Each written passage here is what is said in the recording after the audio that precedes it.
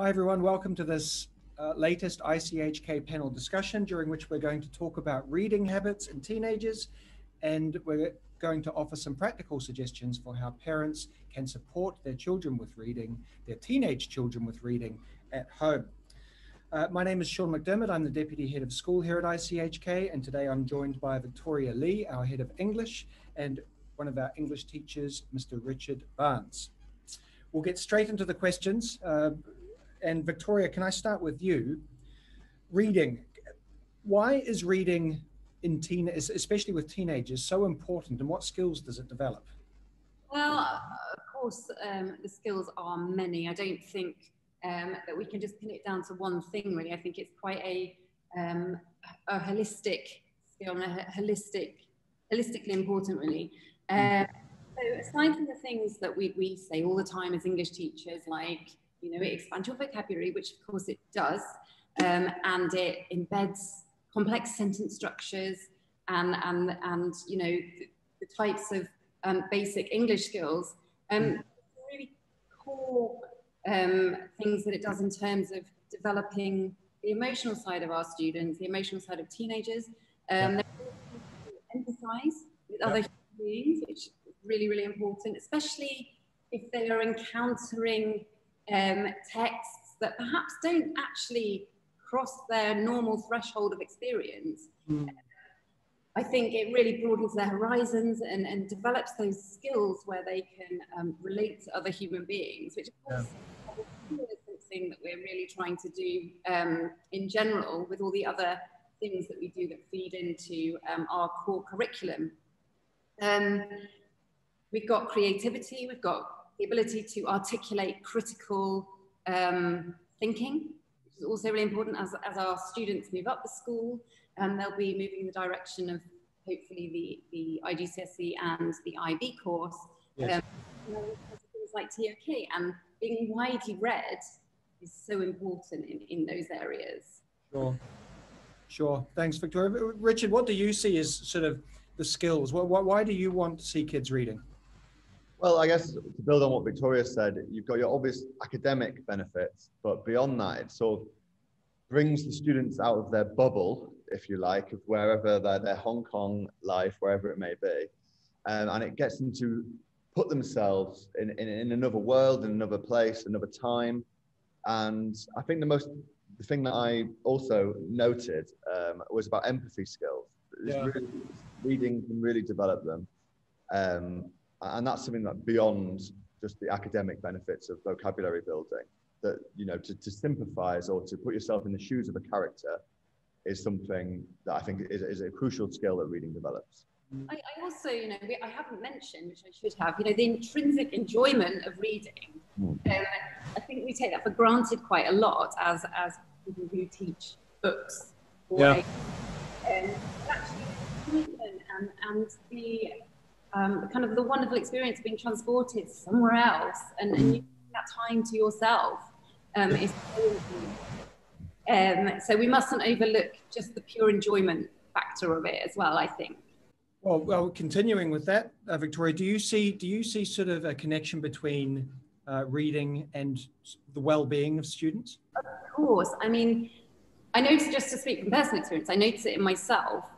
When i am in the habit reading every single day, mm. um, I notice that I have um, the ability to unwind, to sleep better, and I think our students could really benefit from that. It's switching yeah. their screens, um, you know, putting their minds in a different place, really. And I, and I hmm. think change is often really, really important, isn't it, for, for, for student well-being. Absolutely, absolutely. So, so given these benefits, Richard, I mean, do you see, do you have you seen in your career a decline in reading amongst teenagers? Victoria mentioned screens. Is, do, do you see any evidence of, of a decline?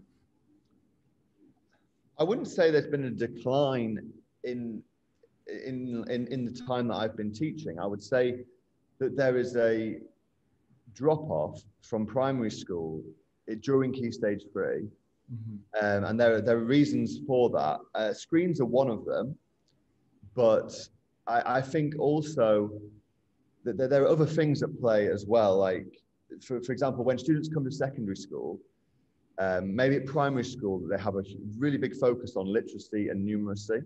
Mm-hmm. And then maybe there's a feeling like, well, this student can, can basically read. Mm. So there's less discussion or less focus on reading mm. because it's like, well, you know, you've ticked that box, like learning to swim. Like you've ticked that box, you can read.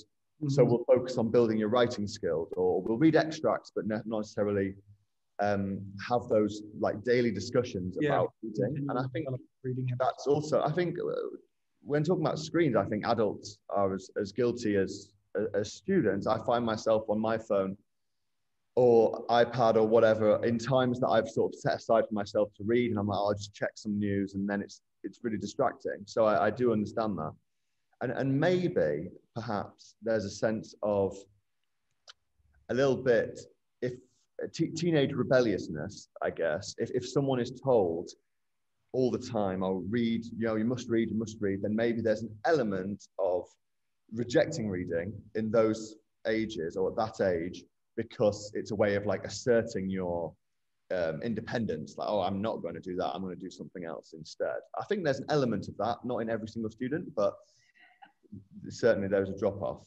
I sure. think yeah. on the teenager. I think that's what I found. Um, as Richard said, in, in, primary school, you know, there are programs where they take a book from a box every day, and that's an expectation. Mm. Um, I think in secondary school, the children that have this innate interest in reading do not stop. There isn't a drop off there. I mean, I've got students now who I've known, you know, for seven years at ICHK, who've been avid readers all the way through and, and they will come to me after class and they will discuss what they're reading and, and maybe they'll, you know, they're now in IB and they'll, they'll borrow a book or, or, or whatever. Yeah. Um, those students will just keep reading and they will be lifelong readers um, mm. because they already have that excitement about, about text. It's the students, I think, that um, as Richard said, come to secondary school and maybe their focus is elsewhere now. Um, mm-hmm. It's not built in necessarily to the fabric of the school day. And I think that's possibly what, what teachers and parents need to kind of work together to address, probably. Yeah, sure. If I may add something, what, what I would also say is that there are obviously books that are aimed at, let's say, the 11 to 14 age range, but mm-hmm. with literature, emotional maturity is, is really important. So it might be that you have a year seven student that is a very able reader and could read a, a complex book and actually understand it. But mm. the, the, on the deeper level, the, the, the themes might completely bypass them. Yes. So it's quite, it's, I guess it's our job as English teachers to try and find those books that are engaging so they can maybe move beyond um, like Diary of a Wimpy Kid, let's say. Mm. They can move beyond that but we're not suddenly exposing them to all kinds of things which, which we haven't discussed in class, which they haven't got the emotional maturity to, to cope with. I completely agree with that. I mean, I've had um, discussions with parents where they where they ask you things like, "Can you give me a list of um, British classics from the 18th century?" Yeah. Um, and I don't think that that, that is uh, necessarily the way forward. Now, if you're going to include a classic as part of a diverse range of reading, then I think that's you know that's healthy, isn't it? To get a taste for a range of text. But I think considering and, and evaluating someone's reading skills being good or worthwhile based on you know the number of classic texts that they have been forced to wade through, I, I don't think that's necessarily um, a long-term plan for um, engaging our teenage mm. students. Sure. So, so I mean, you mentioned, you know, sort of a broad reading program. How do you know what do we do here at ICHK, uh, Victoria, to this, to encourage positive reading habits? Okay, so I, there are a number of um, things we do. Um, the, Year Seven, Eight, and Nine um, English syllabus. Yes. Um, harnesses kind of a range of texts and, and gradually builds up. So, so kind of feeding into what Richard said about emotional maturity in, in year seven, text as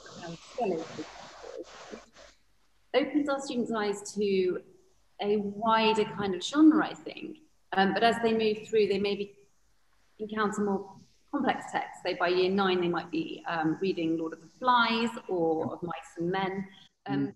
Quite gritty, um, I suppose, themes. Yes, yeah. but, but, but certainly ones that they can begin to engage with on a far more conceptual level. So, so we try very hard to kind of build that up. Mm. Um, and then, of course, with GCSE, we are a little bit restricted in terms of, you know, set texts, etc., etc. Um, but we do our best to um, engage with a, a, wider range of um, reading sources as possible. And I think, you know, the world literature and the, the IB program help with that. Mm. Um, in terms of uh, beyond set texts, um, we have a library program for years seven and eight. Um, and I guess the goal of that is to encourage the students to read from as broad a range of genres uh, uh as they can. Mm. Um, so we've made it a little bit more structured. Mm. So they should be from at least eight set genres in the year. Yeah. Because for the ones that will do it, they will do it anyway. The ones that are a little bit more reluctant, it gives them a manageable, like a smart target, really. Absolutely. Yeah. and you know, we're, we're always trying to build on that. Not every student manages, that's fine, but I think it's the the intention Absolutely. Yeah, and just just yeah, just starting to build those habits. Richard, what sort of conversations do you have with your students uh, in the in the in the classroom to to to build positive reading habits and encouraging reading? Yeah, well, for me, I obviously recommend lots of books. I have some like uh, series in mind that I always recommend, such as Harry Potter, Northern Lights, um, Rick Riordan, the Percy Jackson, the Lightning Thief series. Mm. Uh, and I try and like guide students towards these books because I think initially with with, with series, um, it obviously helps that once you've read the first one, then the second one is is there for you, and you can go mm. on and mm. on and on. And a lot of them build up in terms of difficulty as well. So, especially like Harry Potter, for example, starts off pretty straightforward and ends with a like 600 page book. Mm. Um, and also, I guess what we try and do is get them to have conversations with each other. So it's not just me or the teacher, let's say, saying these are good books. It's actually them recommending books to each other. So, for example, right now with year seven, they're writing, doing like an independent reading unit. Yes. And they are doing book presentations and book reviews. And hopefully, the idea is that out of that, they might see some of the presentations, they might read some of the reviews, hopefully. And then they go, actually, that sounds like I would enjoy that. Or actually, my friend has read that and they liked it. I like the same things. Maybe I will read that. So I think we try and create those like networks where they not yeah not not just receiving information from the teacher but also from each other because they are obviously really up to date a lot of them in terms of what's just been released the book that they've got. Whereas for me I, I, I keep myself up to date but i might not be right on top of it like they are. Mm-hmm. uh, thanks for that richard. Um, in addition victoria in addition to the work that's being done within the school to support positive reading habits and daily reading habits. What can parents do? What would your advice be to parents? You mentioned a list of 18th century English classics earlier. I, I think don't give mm-hmm. your children lists of 18th century British classics. I think so. That would be my first practical tip. Um, for me, um, and, I, and I've seen this work, um, I think modeling being a reader is really, really important. And having books around your home um, and, and having your children from all ages, from, you know, from, when they're babies to slightly more um, adult children, um, I think them seeing reading, whether it be on holiday, whether it be on a, you know, a, a Sunday morning or, or whatever, um, demonstrating these good habits is really important. And also, um, I would really encourage you to take them to bookshops and to mm-hmm. um, because I think that really brings brings it to life. Let them choose. Yeah, let them choose. Exactly. It's really tactile experience. Yeah. And, and you can definitely see the, the benefits of mm. and things like that. Um, especially if you're if you're traveling. Um, I think enjoying the sensory aspect of reading is really important as well. Um, so I, I would definitely recommend, you know, you, you accompanying them to a good bookshop um, and you know letting them browse and, and choose and have some agency over the kind of text they're reading. Now, obviously, there are moments when when parents do need to step in and, and, and stop um, a, a, child picking up something inappropriate. Mm. Um, but in my experience, you know, that, that doesn't come up particularly. No. Yeah, no, that's right. So, so when you talk about sort of daily habits, is there a particular goal or a, a particular sort of period of time daily that, that, that students could be think students and parents could be thinking about in terms of reading? I mean, I, I think bedtime is perfect. Mm-hmm. Um, I think 20 minutes of reading before you turn your lights off is so beneficial. Mm. Mind, um, kind of it, it, it calms, it, it's soothed by the process, and, and you are ready for sleep then. Yeah. So the benefits of reading actually you get yeah, multiple benefits aren't there. That's fantastic. Richard, I mean, what, what what's your perspective on on how parents can can strengthen their children's read, reading habits? Well, I agree with what Victoria said about the the benefits of visiting bookshops. I think that's really important to like basically just connect reading with positive things like a day out going to go and choose a book and and and that like tactile experience rather than just searching on Amazon or, or wherever you look for your books. Yeah. Um, I think that's beneficial. And creating, especially initially, um, and especially if you have, uh, if we have like a, a reluctant reader, let's say, mm-hmm. creating habits. So you have a time, it might be before bed, it might be a time, you know, during the day, but where that is reading time. So mm-hmm. devices go away or out of sight, and that's time for reading. Mm. And there may be some initial resistance to that, but actually, I'm sure that once it becomes ingrained as a habit, then actually it becomes something that is just, you know, something to be looked forward to. And and again, having positive conversations about books, about books that like parents read when they were teenagers, things like that. Mm-hmm. Um, I think that's all useful. Just connecting everything positively is, is the main thing, the main message that I would say. I do think you can also make reading into quality time as well. I think that we forget that everybody loves being read to. Mm, absolutely. What age you are. So reading a page each and going through the book is really, really nice. It is. Really connecting experience as well. Yeah, I think for me, it was one of my revelations when I became a teacher that I thought sort of reading aloud to year 11 there would be some kind of riot because they'd just find it really patronizing. Mm. But actually, yeah. dead silent. I love it. Really yeah. silent, absolutely absorbed. Yeah. The whole chapter. I do it with my um, year 10s with the set text where we read, I will read half and then they will read some. Mm. But yeah, it's amazing. It's, it's, and I think that's the success of, of things like Audible and other like, because people love just having a, an engaging voice reading to them. Yeah absolutely. So, okay, so so fantastic. We're going to yeah, we're going to wrap up here, uh, and I'd like to finish with, with, with all of this taken as a whole. Mm-hmm. Can each of you please share one practical tip to develop a love of reading uh, that, would, that we can that we can share with our community? And Victoria, can we start with you? One practical tip. Okay, so this is very specific for maybe the longest summer holidays. Yes. Um, I think that um, our teenage students should be trying to read something from a different genre at least every two weeks. Interesting. Why a different genre every two weeks? Because, well, two weeks is just a, a manageable time frame. Um, because I think in order to know what you love, you've got to try different things. Mm. It may well be that it opens up a pathway to a type of literature that, that the student didn't know that they loved. Mm. Um, and, and they may get hooked on something. And I think, given the amount of time that they have over the summer, I think that's very, very reasonable. Mm. No, no, absolutely. Fantastic. Thank you, Victoria. Richard, what are your thoughts around what's one practical tip that you would offer parents uh, to help their teenagers with reading?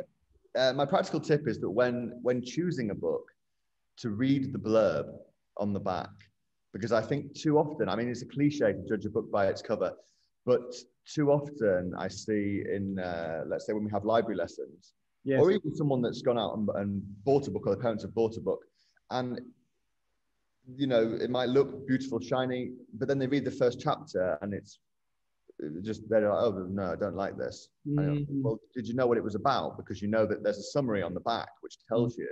Mm. And oh no, I don't know. I didn't know it was about love. I, no, absolutely no idea. So I would just recommend um, reading the blurb, taking your time to choose the book, because mm. then it gives you such a better chance of being able to to get through it mm. um, and to, and to read something that you that you enjoy, whichever genre that is. Yeah, fantastic. Thank you both uh, for that wonderful information about reading. It was um, uh, really helpful, uh, and we really appreciate your time. Uh, and to our community, thank you so much for joining us. And please don't hesitate to contact uh, any of us here at ICHK if there's ever anything we can do to help you, your family, and your teenage children with their reading habits. Thanks very much.